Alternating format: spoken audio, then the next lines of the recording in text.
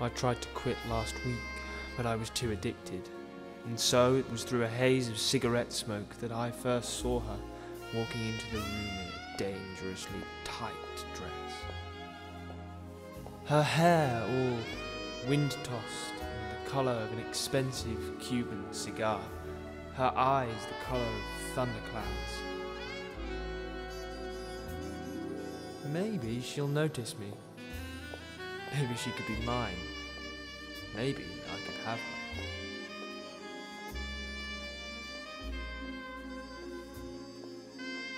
Gone, leaving me with my cancer stick and my fourth shot of something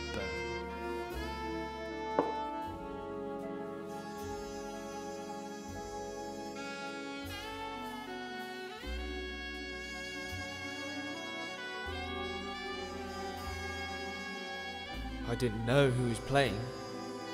With any luck, he'd think I was a drunken loser. If I didn't have the nerve to stand my ground at a card game, there was no way I'd make an effort to go look for her, no matter how much I couldn't get her out of my head. God, I'm, I'm sorry. She'd found me. It's okay. I wanted to ask her something else, just to hear her voice again. What's your favourite kind of flavour? That hadn't come out right, so I thought I'd try again. Um, your your favourite flavour of ice cream? I thought I'd made myself clear, but maybe I should try again. Ice cream? You know, Strawberry. Why do you want to know? Of course it was strawberry, red and tangy and perfectly juicy. Oh, you saying I'm juicy? I must have said that last part out loud. Are you? She looked like she didn't know whether to laugh or slap me.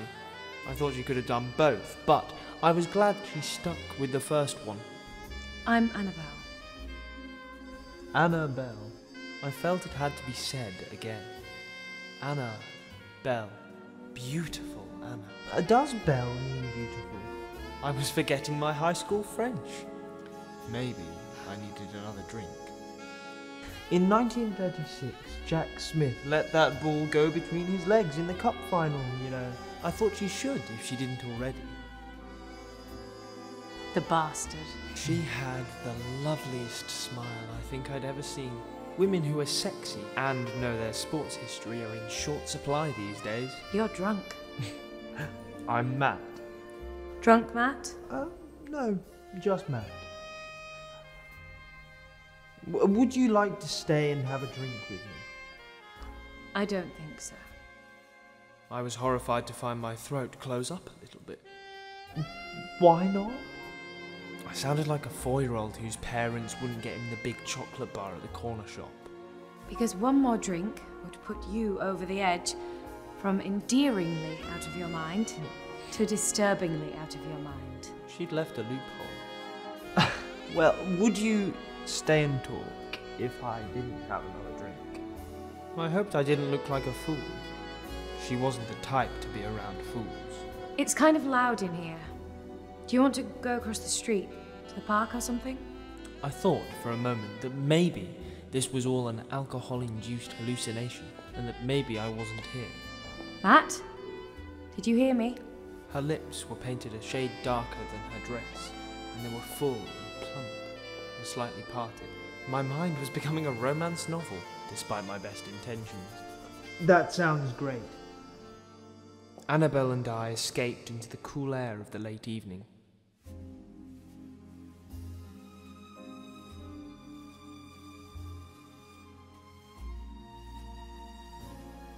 Goosebumps erupted over my arms and chest. My shirt was thin, and I didn't have anything under it, but I didn't care. She was even sexier in my jacket. Something I wore was now touching her. There were no street lamps deep in the park. You weren't supposed to go there at night, but it's where she was heading, and I wasn't going to argue. That's rule number one of how to deal with goddess like women 101. Follow and don't argue. They'll just keep going their own direction whether you're behind them or not. You're disposable baggage.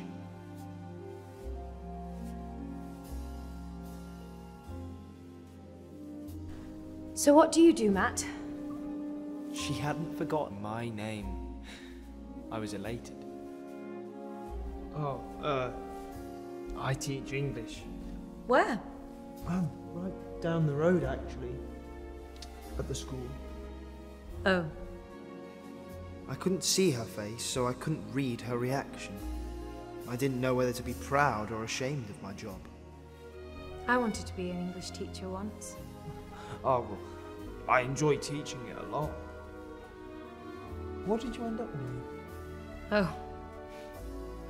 a Little of this, a little of that. Vague. Drunk. She had me there. I couldn't think of a comeback or a question, so I tried to make out our surroundings. If I was right, there should have been a memorial stone bench just over. Yeah, there it was. Why are we here? Well, when a man and a woman love each other Oh, very much. Uh, I mean, here. In the park. Silly girl. We're sitting on a bench. I couldn't tell if she was being flirtatious or if she was just annoyed. Maybe I was starting to sober up a little. No, but seriously, why did you bring me here? I mean, I thought I was the one coming on to you. I was showing genuine confusion, an anomaly in men occurring only when inebriated. You know a man named Frank Schulman, yes? She wasn't making sense, or at least she wasn't answering my question. Now you're scaring me. Yet you're still sexy and wearing my jacket. Maybe I should get that back. I just need to know what you know about him. I. I mowed Mr. Schulman's lawn every Saturday evening. Being a teacher doesn't pay much, so this was just a way for me to get a little extra cash. he, he likes a mowed lawn. That was all I could come up with. Right. Well, Two weeks ago, when you went to mow his lawn, a tall man came to the front door. He's about your height, come to think of it. Do you remember? Maybe she could read something there, though the words were blurred by alcohol. So imagine my surprise when a sudden vivid image shot into my mind. W- was he wearing like a weird bowler hat? Yes, that's the man.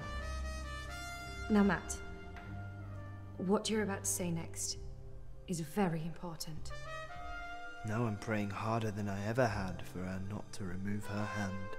Do you remember anything else about that night? About the man in the hat? Or Mr. Shulman? Anything? I wondered for a second if I should be asking why she wanted to know. But there was that one thing. Mr. Shulman paid me himself that night. Normally it's his henchman, Henry, but that night Shulman came round the side as I was heading for the servants' door and shook me by the hand, sweaty as I was, and paid me in cash. A little bit more than usual, but I suppose I didn't think much about it because I'd been working for him for one year that night exactly, and I thought he was being sentimental. Apparently not. I thought, a little too late, that maybe he'd paid me more so I wouldn't do exactly what I was doing now. You're going to work for him again tomorrow, yes? Is tomorrow really Saturday? Yes. Then yes. All right. Now, Matt, what I'm about to ask is going to sound quite strange. Oh, well, it already does. Don't worry about it. I need you to do me a favour. But be subtle about it, of course. If you could maybe peek in some windows or get in the house for some reason and have a poke around, but don't get them suspicious. The man with the hat should be there again tomorrow night.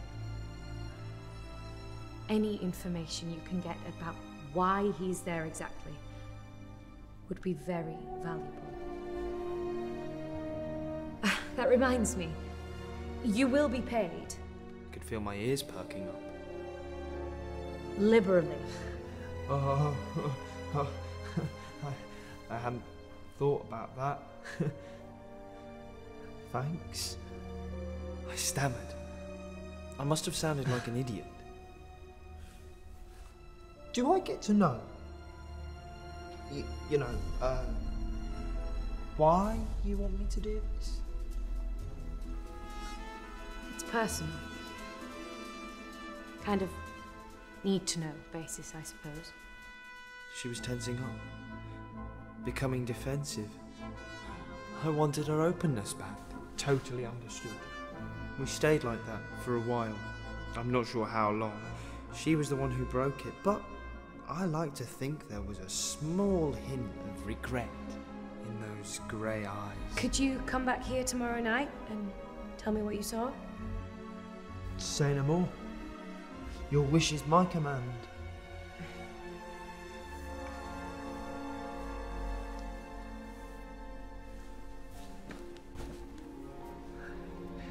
Do you have a pen? Uh, my breath hitched, and I hope she didn't notice. She wrote her phone number on my skin. It looked like I'd bled it out. In case of emergency. Thanks, Matt. For doing this. Her eyes were downcast, but I could see a grateful smile on her lips. Uh, you're welcome. My voice was gruffer than I wanted it to be. She took her hand away, and I ached somewhere inside. Meet here tomorrow night? Say, nine o'clock? Yeah.